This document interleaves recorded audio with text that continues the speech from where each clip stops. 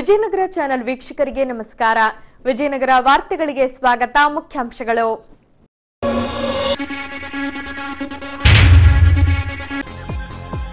ತಾಲೂಕು ಆಡಳಿತಾಂಗದಿಂದ ಸರಳವಾಗಿ ಆಚರಣೆಗೊಂಡ ನಾರಾಯಣ ಗುರುಗಳ ಜಯಂತಿ. ಜಯಂತಿಗೆ ಸಾಕ್ಷಿಯಾದ ಆರ್ಯ ಈಡಿಗ ಸಮಾಜ. ಕಡ್ಡರಾಂಪುರದಲ್ಲಿ ನೆರವೇರಿದ ಸ್ವಚ್ಛತಾ ಅಭಿಯಾನ. ಸಸಿಗಳನ್ನ ನೆಟ್ಟು ಪರಿಸರ ಜಾಗೃತಿ ಮೂಡಿಸಿದ ಬಿಜೆಪಿ ಹಂಪಿ ಮಹಾಶಕ್ತಿ ಕೇಂದ್ರ.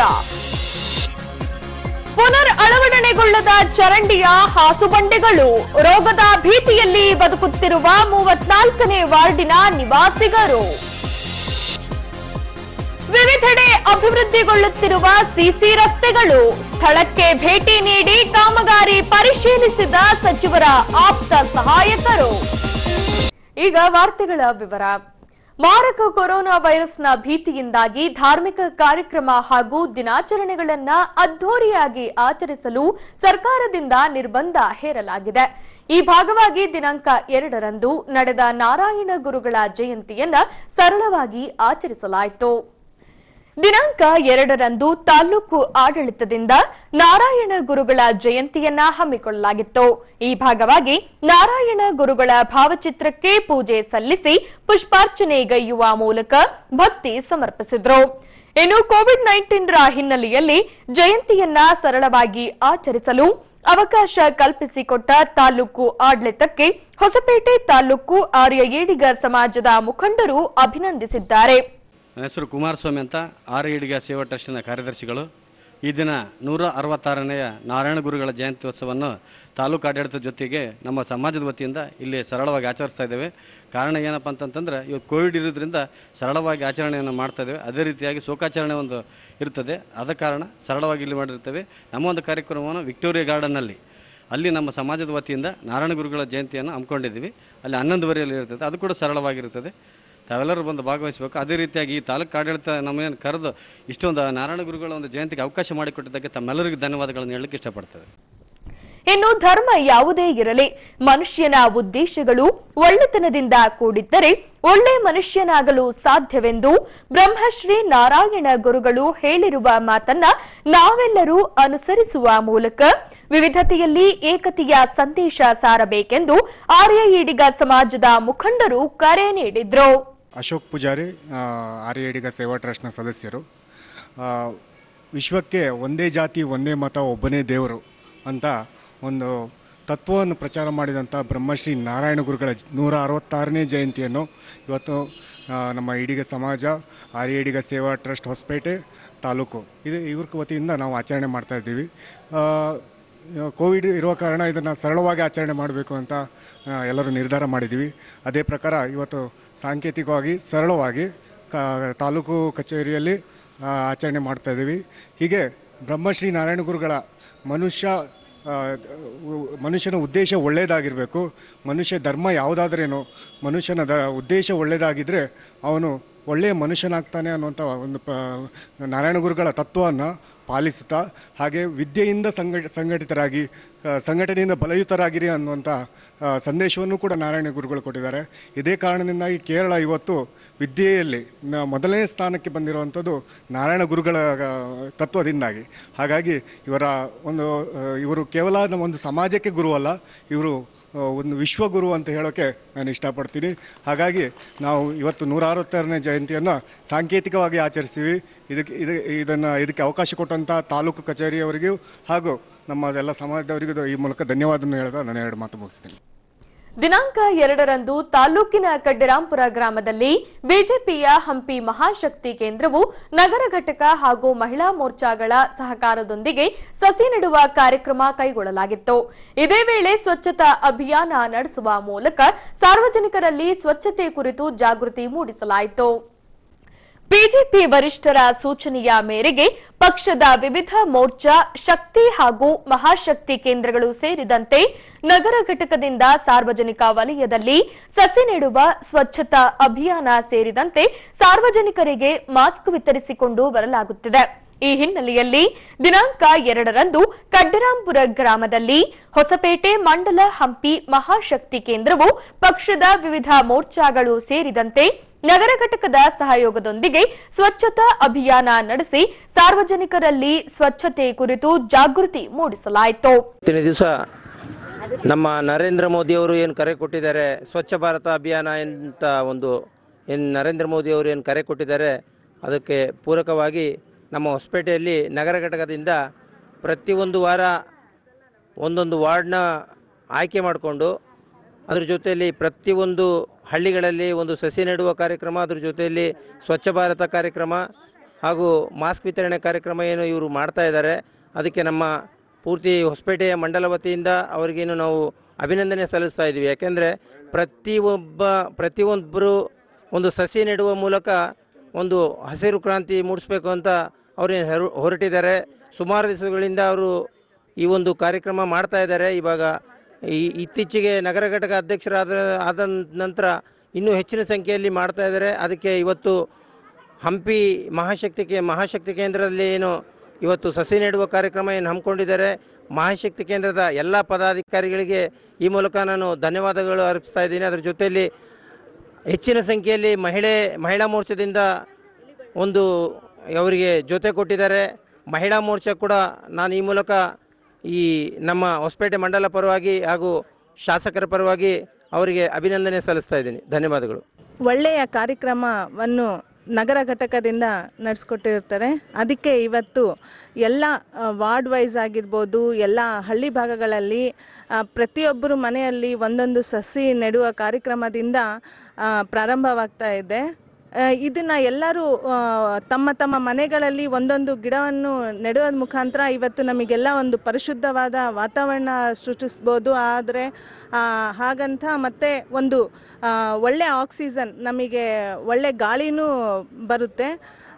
ಹಾಗೆ ಇದೊಂದು ಮಾಸ್ಕ್ ವಿತರಣೆ ಕಾರ್ಯಕ್ರಮ ಕೂಡ ನಗರ ಘಟಕದಿಂದ ಭಾಳ ಚೆನ್ನಾಗಿದೆ. ಎದಕ್ಕಂದರೆ ಪ್ರತಿಯೊಬ್ಬರಿಗೂ ಇವತ್ತು ಈ ಮಹಾಮಾರಿ ಕೊರೋನಾದಿಂದ ಭಾಳಷ್ಟು ಜನಗೆ ತೊಂದರೆ ಆಗ್ತಾ ಇದೆ. ಅದಕ್ಕೆ ಅದರದೊಂದು ಆದಂತಹ ಒಂದು ಕಾಳಜಿಯನ್ನು ಕೂಡ ಹೇಳ್ತಾ ಅದ್ರ ಬಗ್ಗೆನೂ ಮಾಹಿತಿಯನ್ನು ನೀಡ್ತಾ ಇದ್ದಾರೆ. ಅದಕ್ಕೆ ನಮ್ಮ ಈ ಗ್ರಾಮಾಂತರ ಎಲ್ಲ ಪ್ರದೇಶದಿಂದ ನಗರ ನಗರ ಘಟಕಕ್ಕೆ ಒಂದು ಹೃತ್ಪೂರ್ವಕವಾದ ವಂದನೆಗಳನ್ನು ಹೇಳ್ತಾ ಇದ್ದೀವಿ. ಹಾಗೆ ನಮ್ಮ ಮಹಿಳಾ ಮೋರ್ಚಾಗಳಿಂದ ಕೂಡ ಒಳ್ಳೆ ಒಳ್ಳೆ ಕಾರ್ಯಕ್ರಮಗಳು ನಡೀತಾ ಇದ್ದಾವೆ. ಅದಕ್ಕೆ ಪ್ರೋತ್ಸಾಹ ನೀಡ್ತಾ ಇದ್ದಾರೆ ಎಲ್ಲ ನಮ್ಮ ಬಿ ಜೆ ಪಿ ಪಕ್ಷದಿಂದ. ಅದಕ್ಕೆ ಎಲ್ಲ ಬಿ ಜೆ ಪಿ ಕಾರ್ಯಕರ್ತರಿಗೂ ಅಭಿನಂದನೆಗಳನ್ನು ಹೇಳ್ತಾ ಇದೊಂದು ಕಾರ್ಯಕ್ರಮ ಎಲ್ಲರೂ ಬಂದಿರೋಂಥವರಿಗೆ ಎಲ್ಲರಿಗೂ ಅಭಿನಂದನೆಗಳನ್ನ ಹೇಳ್ತಾ, ಜೈ ಹಿಂದ್, ಜೈ ಕರ್ನಾಟಕ, ಜೈ ಬಿ ಜೆ ಪಿ ಅದೇ ರೀತಿ ಆಯ್ದ ಭಾಗಗಳಲ್ಲಿ ಸಸಿಗಳನ್ನ ನೆಟ್ಟು ಪರಿಸರ ಸಂರಕ್ಷಣೆ ಕುರಿತು ಜಾಗೃತಿ ಮೂಡಿಸಲಾಯಿತು.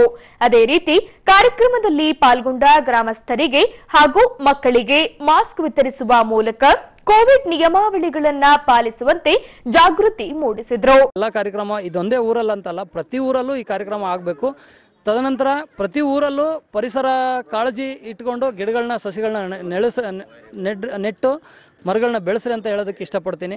ಅದೇ ರೀತಿಯಾಗಿ ಸ್ವಚ್ಛತೆ ಅನ್ನೋದು ಒಬ್ಬರು ಒಬ್ಬರು ಸೊತ್ತಲ್ಲ, ಸ್ವಚ್ಛತೆ ಎಲ್ಲ ಕಡೆ ಇರಬೇಕು. ಅಂದರೆ ಬರೇ ದೇವಸ್ಥಾನದ ಹತ್ರ ನಾವು ಮಾಡಿದ್ವಿ ಅಥವಾ ಯಾವುದೋ ಒಂದು ಊರಲ್ಲಿ ಮಾಡಿದ್ವಿ ಏರಿಯಾದಲ್ಲಿ ಮಾಡಿದ್ವಿ ಅಂತಲ್ಲ ಪ್ರತಿಯೊಂದು ಮನೆ ಮನೆಯಲ್ಲೂ ಕೂಡ ಮನೆ ಹತ್ರ ಕೂಡ ಸ್ವಚ್ಛತೆಯಿಂದ ಕಾಪಾಡಿ, ಸ್ವ, ಆರೋಗ್ಯನ, ನಿಮ್ಮ ಆರೋಗ್ಯನ ನೀವೇ ಕಾಪಾಡ್ಕೋಬೇಕಂತ ಈ ಮೂಲಕ ಹೇಳ್ತಾ ಹಾಗೆಯೇ ಗಿಡ ಯಾಕೆ ನೆಡ್ಬೇಕಂತ ಹೇಳ್ ಹೇಳ್ಬೇಕಂದ್ರೆ ಸಸಿ ನೆಡೋದ್ರಿಂದ ಮರ ಆಗುತ್ತೆ, ಮರ ಆಗೋದ್ರಿಂದ ನಮ್ಮ ಪರಿಸರ ಬೆಳೆಯುತ್ತೆ, ಪರಿಸರ ಚೆನ್ನಾಗಿದ್ದರೆ ಮಳೆ ಬೆಳೆ ಎಲ್ಲ ಚೆನ್ನಾಗಿರುತ್ತೆ. ಮಳೆ ಬೆಳೆ ಆದರೆ ರೈತರಿಗೂ ಅನುಕೂಲ ಆಗುತ್ತೆ. ರೈತರಿಗೆ ಅನುಕೂಲ ಆಗೋದ್ರಿಂದ ನಮ್ಗಳಿಗೆಲ್ಲನೂ ಒಂದು ಒಳ್ಳೆ ಥರದ ದಿ- ದಿನಗಳನ್ನ ನಾವೆಲ್ಲ ಕಾಣ್ಬೋದಾಗಿರುತ್ತೆ. ಮರಗಳನ್ನ ನೆಡೋದ್ರಿಂದಾಗಿ ಆಕ್ಸಿಜನ್ ಉತ್ಪಾದ, ಉತ್ಪನ್ನ ಆಗುತ್ತೆ. ಸೊ ಆ ಒಳ್ಳೆ ಗಾಳಿನ ನಾವು ತಗೋಬೇಕಾದ್ರೆ ನಾವು ಗಿಡಗಳನ್ನ ಬೆಳೆಸ್ಬೇಕು. ಗಿಡಗಳನ್ನ ಬೆಳೆಸೋದ್ರಿಂದ ನಮ್ಮ ಪರಿಸರ ಸಮೃದ್ಧಿ ಆಗುತ್ತೆ. ಸಮೃದ್ಧಿ ಆಗೋದ್ರಿಂದ ನಮ್ಮ ಆರೋಗ್ಯ ಕೂಡ ಚೆನ್ನಾಗಿರುತ್ತೆ ಅಂತ ಹೇಳ್ತಾ ಇವತ್ತು ಬಂದಂಥ ಎಲ್ಲ ಪದಾಧಿಕಾರಿಗಳಿಗೆ ಎಲ್ಲ ಬಿ ಜೆ ಪಿ ಕಾರ್ಯಕರ್ತರಿಗೆ ನನ್ನ ಎರಡೂ ಕೈಯಿಂದ ವಂದಿಸುತ್ತಾ ಆ, ನನ್ನ ಹಿರಿಯರಿಗೆ ನಮ್ಮ ಕಿರಿಯರಿಗೆ ನನ್ನ ಜೊತೆ ಸಾಥ್ ಕೊಟ್ಟಂತ ಎಲ್ರಿಗೂ ವಂದಿಸುತ್ತಾ ಈ ಒಂದೆರಡು ಮಾತುಗಳನ್ನ ಹೇಳೋದಕ್ಕೆ ಇಷ್ಟಪಡ್ತೀನಿ. ಜೈ ಹಿಂದ್ ಜೈ ಕರ್ನಾಟಕ. ಇನ್ನು ಬಿಜೆಪಿ ಕಾರ್ಯಕರ್ತರ ಪರಿಸರ ಕಾಳಜಿಗೆ ತಾಲೂಕು ಪಂಚಾಯಿತಿ ಅಧ್ಯಕ್ಷರು ಅಭಿನಂದಿಸಿದ್ದಾರೆ. ಈ ಸಸಿ ನಡುವ ಕಾರ್ಯಕ್ರಮ ಮತ್ತು ಮಾಸ್ಕ್ ವಿತರಣೆ ಕಾರ್ಯಕ್ರಮ ಮತ್ತು ಸ್ವಚ್ಛ ಭಾರತ ಅಭಿಯಾನ ಕಾರ್ಯಕ್ರಮಕ್ಕೆ ಆಗಮಿಸಿದಂಥ ಎಲ್ಲ ಬಿ ಜೆ ಪಿ ಕಾರ್ಯಕರ್ತರಿಗೂ ಮತ್ತು ಈ ಊರಿನ ಮುಖಂಡರಿಗೂ ಎಲ್ಲರಿಗೂ ವಂದಿಸುತ್ತಾ. ಈ ಸ್ವಚ್ಛ ಭಾರತ ಅಭಿಯಾನವನ್ನು ಮಾಡ್ತಾ ಇರೋದಕ್ಕೆ ನನಗೆ ತುಂಬ ಖುಷಿ ಆಗ್ತಾ ಇದೆ. ಮತ್ತು ಎಲ್ ಮೊದಲನೇ ಮೊದಲೇ ಬಾರಿಗೆ ಹೇಳ್ಬೇಕಪ್ಪ ಅಂದರೆ ದೇವಸ್ಥಾನದಲ್ಲಿ ಫಸ್ಟು ಸ್ವಚ್ಛ ಭಾರತವನ್ನು ಮಾಡಿದ್ದೀವಿ ನಾವು. ಮತ್ತು ಸಸಿ ನಡುವ ಕಾರ್ಯಕ್ರಮವನ್ನು ಮಾಡಿದ್ದೇವೆ. ಆಮೇಲೆ ಮಾಸ್ಕ್ ವಿತರಣೆಯನ್ನು ಕಾರ್ಯಕ್ರಮ ಸಮೇತ ಸ್ವಚ್ಛತವಾಗಿ ಮಾಡಿದ್ದಾರೆ. ಈ ಸಸಿ ನೆಡುವ ಕಾರ್ಯಕ್ರಮವನ್ನು ಮಾಡೋದ್ರಿಂದ ಸ್ವಚ್ಛತೆಯನ್ನು ಎಲ್ಲ ಗಾಳಿ ಬೆಳಕನ್ನು ನಮಗೆ ಪರಿಶುದ್ಧವಾದ ಗಾಳಿ ಸಮೇತ ಸಿಗುತ್ತೆ. ಇದನ್ನು ಮೊದಲು ದೇವಸ್ಥಾನದಲ್ಲಿ ಎಲ್ಲ ಮನೆ, ಒಬ್ಬೊಬ್ಬರು ಮನೆ ಸಮೇತನೂ ಗಿಡ ನೆಡುವಂಥ ಕಾರ್ಯಕ್ರಮ ಆಗಬೇಕು ಅಂತ ಹೇಳ್ತಾ ನಾನು ಎರಡು ಮಾತುಗಳನ್ನು ಮುಗಿಸ್ತೀನಿ. ಹೊಸಪೇಟೆ ನಗರಸಭಾ ವ್ಯಾಪ್ತಿಯಲ್ಲಿ ಈಗಾಗಲೇ ಕೆಲ ಚರಂಡಿಗಳನ್ನು ಅಭಿವೃದ್ಧಿಗೊಳಿಸಲಾಗಿದೆ. ಇನ್ನು ಕೆಲ ಚರಂಡಿಗಳ ಅಭಿವೃದ್ಧಿ ಕಾರ್ಯ ಪ್ರಗತಿಯಲ್ಲಿದೆ.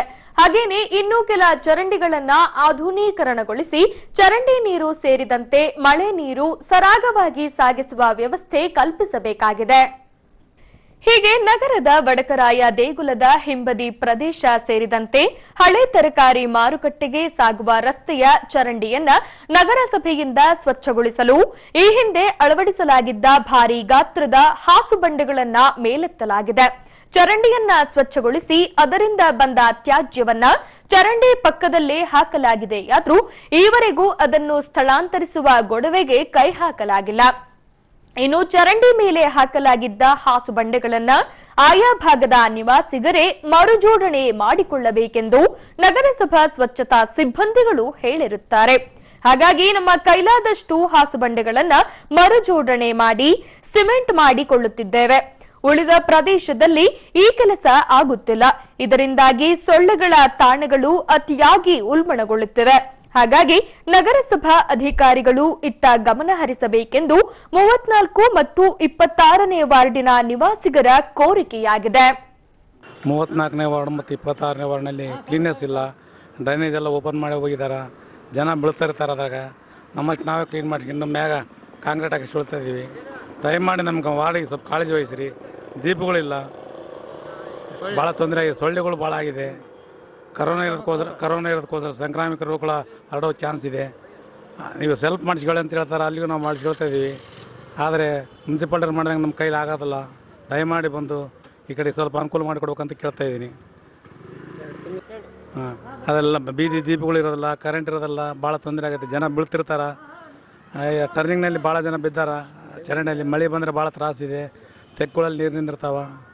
ದಯಮಾಡಿ ನಮಗೆ ಅನುವು ಮಾಡಿಕೊಡ್ಬೇಕಂತ ನಾವು ನಿಮ್ಮಲ್ಲಿ ಕಳೆಗಳಿಂದ ಕೇಳಿಕೊಳ್ಳುತ್ತೇವೆ ಪ್ರಾರ್ಥಿಸಿಕೊಳ್ಳುತ್ತೇವೆ. ನಮಸ್ಕಾರ. ನಾ ಇದು ಮೂವತ್ತ್ನಾಲ್ಕನೇ ವಾರ್ಡ್ ಹೊಡಕರಂಗುಡಿ ತೇರ ಹತ್ರದಿಂದ ಮಾತು ಹೇಳ್ತಾ ಇರೋದು. ಇಲ್ಲಿದು ಪ್ರಾಬ್ಲಮ್ ಏನಾಗಿದೆ ಅಂತ ಹೇಳಿದರೆ ಎರಡು ತಿಂಗಳಿಂದ ಡ್ರೈನೇಜಿಂದ ಎಲ್ಲ ತೆಗೆದೋಗಿದ್ದಾರೆ.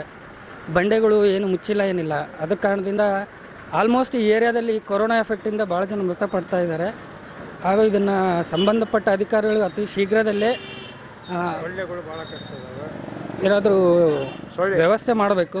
ಸೊಳ್ಳೆಗಳು ಇದರಿಂದ ಸೊಳ್ಳೆಗಳು ವಿಪರೀತ ಆಗಿದೆ. ರೋಗಗಳು ಇದು ಹೆಚ್ಚಿಗೆ ಇದ್ದ ಕಾರಣ ದಯಮಾಡಿ ಸರಿಯಾಗಿ ತೆಗಿತಾ ಇಲ್ಲ. ದಯಮಾಡಿ ಯಾರಾದರೂ ಸಂಬಂಧಪಟ್ಟ ಅಧಿಕಾರಿಗಳು ಬೇಗ ಇದನ್ನೆಲ್ಲ ಬಗೆಹರಿಸಿದ್ರೆ ಚೆನ್ನಾಗಿರುತ್ತೆ. ಹಾಗೂ ಸಾಮಾಜಿಕದಲ್ಲಿ ಎಲ್ಲ ಸುರಕ್ಷಿತವಾಗಿ ಇರ್ಬೋದು.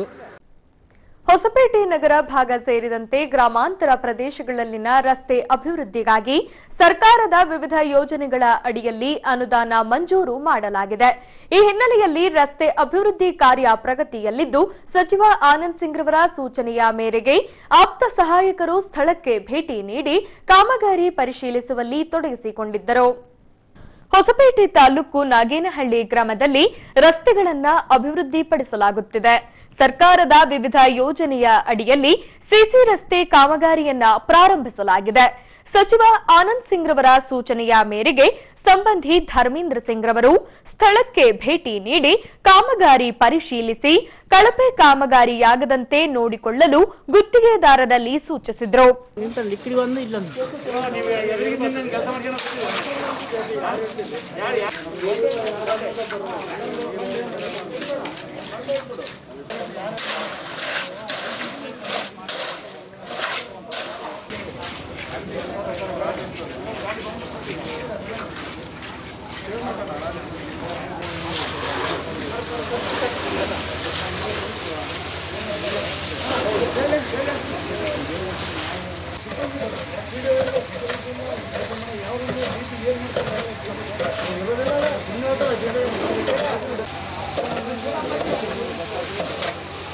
ನೀರು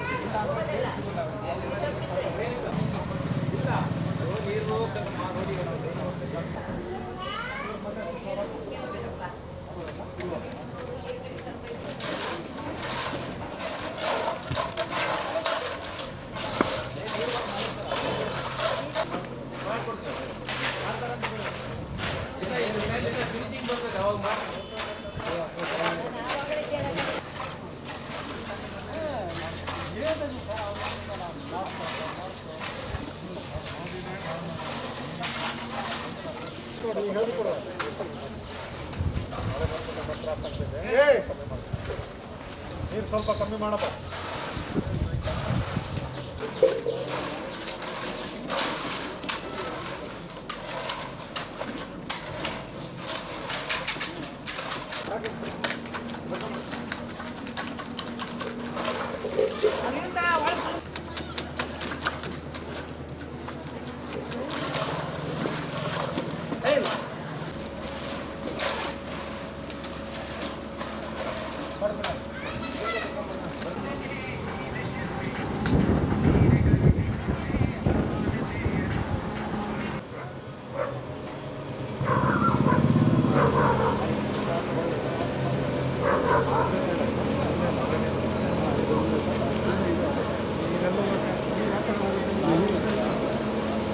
ಅದೇ ರೀತಿ ಹೊಸಪೇಟೆ ನಗರಸಭಾ ವ್ಯಾಪ್ತಿಗೆ ಬರುವ ಚಿತ್ತುವಾಡಿಗೆಯಲ್ಲಿ ಶ್ರೀರಾಮ ಬಡಾವಣೆಯಲ್ಲಿ ಸಿಸಿ ರಸ್ತೆಯನ್ನ ನಿರ್ಮಿಸಲಾಗುತ್ತಿದೆ.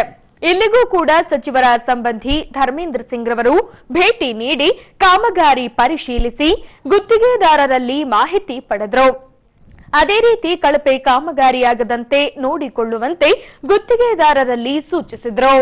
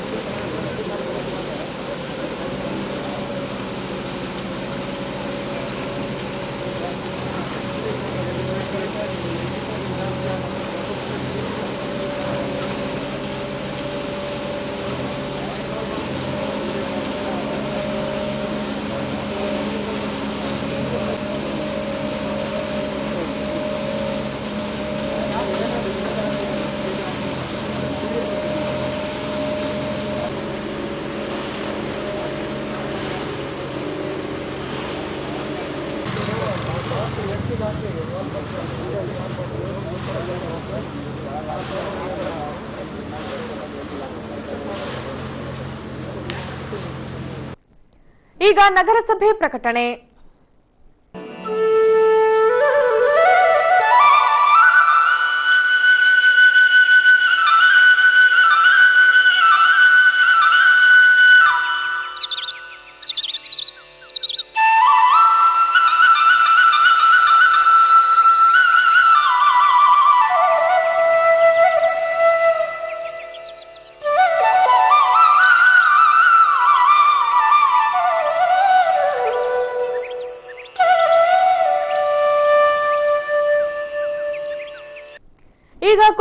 ಜಾಗೃತಿ ಕುರಿತು ತಹಶೀಲ್ದಾರ್ ರವರಿಂದ ಪ್ರಕಟಣೆ.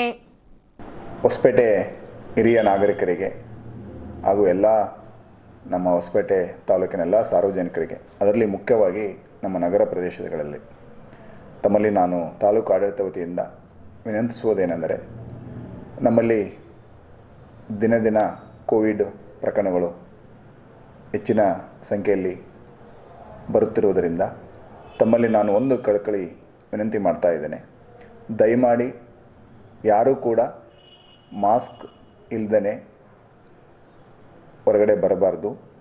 ಮತ್ತು ಸೋಷಿಯಲ್ ಡಿಸ್ಟೆನ್ಸ್ ಭಾಳ ಮುಖ್ಯವಾಗಿರ್ತದೆ. ಯಾವುದೇ ಕಾರಣಕ್ಕೂ ಸಾರ್ವಜನಿಕ ಇರ್ತಕ್ಕಂಥ ಪ್ರದೇಶಗಳಲ್ಲಿ, ಉದಾಹರಣೆ, ಕಾಯಿಪಲ್ಲೆ ಮಾರ್ಕೆಟಲ್ಲಿರ್ಬೋದು, ಎ ಪಿ ಎಂ ಸಿ ಮಾರ್ಕೆಟಲ್ಲಿರ್ಬೋದು, ಮತ್ತು ಸಾರ್ವಜನಿಕ K S R T C bus ಸ್ಟ್ಯಾಂಡಲ್ಲಿರ್ಬೋದು ಮತ್ತು ಕೆಲವು ಹೋಟೆಲ್ಗಳ ಮುಂಭಾಗದಲ್ಲಿರ್ಬೋದು. ಸಾರ್ವಜನಿಕ ಸ್ಥಳದಲ್ಲಿ ಸೋಷಿಯಲ್ ಡಿಸ್ಟೆನ್ಸ್ ಸಾಮಾಜಿಕ ಅಂತರವನ್ನು ಕಾಪಾಡಿಕೊಳ್ಳಲು ವಿನಂತಿ ಮಾಡ್ತಾ ಇದ್ದೇನೆ. ಮತ್ತು ಮುಖ್ಯವಾಗಿ ಈಗ ಪ್ರತಿಯೊಂದು ಪ್ರಕರಣಗಳನ್ನು ನಾವು ಕೋವಿಡ್ ಪಾಸಿಟಿವ್ ಪ್ರಕರಣಗಳನ್ನು ನಾವು ಪರಿಶೀಲನೆ ಮಾಡಿದಾಗಿ, ಮಾಡಲಾಗಿ ತುಂಬ ಪ್ರಕರಣಗಳು ಈ ಹಿಂದೆ ಅವರಿಗೆ ಅನಾರೋಗ್ಯ ಪೀಡಿತರಾಗಿರುವ ವ್ಯಕ್ತಿಗಳಿಗೆ ಹೆಚ್ಚಿನ ಸಂಖ್ಯೆಯಲ್ಲಿ ಪಾಸಿಟಿವ್ ಬಂದಿದೆ. ಉದಾಹರಣೆ ಕಿಡ್ನಿ ಫೇಲ್ಯೂರ್ ಆಗಿರ್ಬೋದು, ಅಥವಾ ಹೃದಯ ತೊಂದರೆ ಇರ್ಬೋದು, ಮತ್ತು ಈ ಬಿ ಪಿ ಶುಗರ್ ಮುಂತಾದ ರೋಗಗಳ ಲಕ್ಷಣಗಳಿರುವ ರೋಗಿಗಳಿಗೆ ತುಂಬ ಬೇಗ ಹರಡುವ ಸಂಭವಗಳು ನಮ್ಮ ತಿಳಿದು ಬಂದಿರುತ್ತದೆ. ಇದರ ಇದರ ಹಿನ್ನೆಲೆಯಲ್ಲಿ ತಮ್ಮಲ್ಲಿ ನಾನು ಒಂದು ವಿನಂತಿ ಮಾಡ್ತಾ ಇದ್ದೀನಿ. ಇದು ಯಾವುದೂ ಗಾಬರಿ ಅಥವಾ ಭಯಪಡುವ ಅವಶ್ಯಕತೆ ಇಲ್ಲ. ತಮ್ಮ ತಮ್ಮ ಏರಿಯಾಗಳಲ್ಲಿ, ತಮ್ಮ ತಮ್ಮ ವಾರ್ಡ್ಗಳಲ್ಲಿ ಅದರಲ್ಲಿ ಮುಖ್ಯವಾಗಿ ಹೊಸಪೇಟೆ ತುಂಬ ದೊಡ್ಡ ನಗರಸಭೆ ಆಗಿರುವುದರಿಂದ ಸುಮಾರು ಮೂವತ್ತೈದು ವಾರ್ಡ್ಗಳು ನಮ್ಮ ನಗರಸಭೆಯಲ್ಲಿದ್ದಾವೆ. ಸುಮಾರು ಜನಸಂಖ್ಯೆನೂ ನಮ್ಮಲ್ಲಿ ಹೆಚ್ಚಿನ ರೀತಿಯಲ್ಲಿದೆ ದಯಮಾಡಿ ಯಾರೇ ಸಾರ್ವಜನಿಕರು ನಿಮ್ಮ ನಿಮ್ಮ ಕುಟುಂಬಗಳಲ್ಲಿ ಯಾರಾದರೂ ಇಂಥ ಕಾಯಿಲೆ ಇರತಕ್ಕಂಥ ಹಿರಿಯರಲ್ಲಿ, ಉದಾಹರಣೆ ಕಿಡ್ನಿ ಫೇಲ್ಯೂರ್ ಆಗಿರ್ಬೋದು, ಕಿಡ್ನಿ ತೊಂದರೆಯಿಂದ ಬಳತ, ಬಳತಿರುವ ರೋಗಿಗಳಾಗಿರ್ಬೋದು, ಅಥವಾ ಹೃದಯ ತೊಂದರೆಗಿಂತ ರೋಗಿಗಳಾಗಿರ್ಬೋದು, ಮತ್ತು ಎಚ್ ಐ ವಿ ಪೇಷೆಂಟ್ಗಳ ರೋಗಿಗಳಿರ್ಬೋದು, ಅವರು ಅವರು ಬೇಗ ತಾವುಗಳು ನಮ್ಮ ಫೀವರ್ ಕ್ಲಿನಿಕ್ಕಿಗೆ ಬಂದು ಸ್ವಾಬನ್ನು, ತಮ್ಮ ಗಂಟಲ ದ್ರವವನ್ನು ಪರೀಕ್ಷೆಗೆ ಒಳಪಡಿಸಿದಲ್ಲಿ ಅವರಿಗೆ ಬೇಗ ಗುಣಮುಖ ಮಾ- ಅವರಲ್ಲಿ ಏನಾದರೂ ಲಕ್ಷಣಗಳು ಕಂಡುಬಂದರೆ ಬೇಗ ಅವರನ್ನು ಗುಣಮುಖರಾಗಲು ಮಾಡುವ ನಮ್ಮ ವೈದ್ಯರಿಗೆ ಸಹಾಯ ಮಾಡಿದಂತಾಗುತ್ತದೆ. ಮತ್ತು ತಾವು ಕೂಡ ಸಾಮಾಜಿಕ ನ್ಯಾಯವನ್ನು ಕಾಪಾಡಿಕೊಳ್ತಕ್ಕಂಥ ಜವಾಬ್ದಾರಿ ಕೂಡ ತಮ್ಮಲ್ಲಿರುತ್ತದೆ. ಯಾವುದೇ ಕಾರಣಕ್ಕೂ ಈ ರೋಗ ಲಕ್ಷಣ ಇರತಕ್ಕಂಥ ಕಿಡ್ನಿ ಫೇಲ್ಯೂರು ಮತ್ತು ಹೃದಯ ತೊಂದರೆ ಇರೋರು ಮತ್ತು ಎಚ್ ಐ ವಿ ರೋಗಿಗಳು ಅವರಲ್ಲಿ ಏನಾದರೂ ಈ ಕೆಮ್ಮು, ನಗಡೆ, ಜ್ವರ ಲಕ್ಷಣಗಳು ಕಂಡುಬಂದರೆ ಕೂಡಲೇ ತಾವು ದಯಮಾಡಿ ನಮ್ಮ ಫೀವರ್ ಕ್ಲಿನಿಕ್ಗೆ ಬಂದು ತಾವು ಸ್ವಾಬ್ ಟೆಸ್ಟನ್ನು ಅಂದರೆ ತಮ್ಮ ಗಂಟಲ ದ್ರವವನ್ನು ಟೆಸ್ಟ್ ಮಾಡಿಸಿಕೊಂಡಿದ್ದಲ್ಲಿ ಅವರ ಆರೋಗ್ಯ ಕಾಪಾಡಿಕೊಳ್ಳೋಕ್ಕೆ ಸಹಾಯ ಮಾಡಿದಂತಾಗದಂದು ಈ ಮೂಲಕ ತಮ್ಮಲ್ಲಿ ನಾನು ವಿನಂತಿ ಮಾಡ್ತಾ ಇದ್ದೇನೆ. ಧನ್ಯವಾದಗಳು. ಈಗ ಪೊಲೀಸ್ ಪ್ರಕಟಣೆ.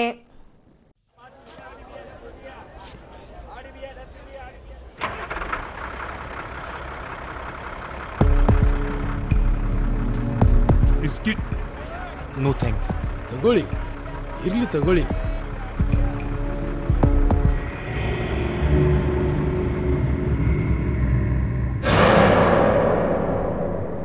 ಅಪರಿಚಿತರು ಕೊಡುವ ತಿಂಡಿ ತಿನಿಸುಗಳನ್ನು ತಿನ್ನಬೇಡಿ. ನಿಮಗೆ ಮೋಸವಾಗಬಹುದು. ನಿಮ್ಮ ದೂರುಗಳನ್ನು ಪೊಲೀಸ್ ಕಂಟ್ರೋಲ್ ರೂಮ್ ಸಂಖ್ಯೆ ಒಂದು ಸೊನ್ನೆ ಸೊನ್ನೆ ಅಥವಾ ಸೊನ್ನೆ ಎಂಟು ಮೂರು ಒಂಬತ್ತು ಎರಡು ಎರಡು ಐದು ಎಂಟು ಒಂದು ಸೊನ್ನೆ ಸೊನ್ನೆಗೆ ನೀಡಿರಿ. ಬಳ್ಳಾರಿ ಜಿಲ್ಲಾ ಪೊಲೀಸರ ವತಿಯಿಂದ ಜನಹಿತಾರ್ಥ ಪ್ರಕಟಿಸಲಾಗಿದೆ. ಈಗ ಕೊನೆಯಲ್ಲಿ ಮತ್ತೊಮ್ಮೆ ವಾರ್ತೆಗಳ ಮುಖ್ಯಾಂಶಗಳು.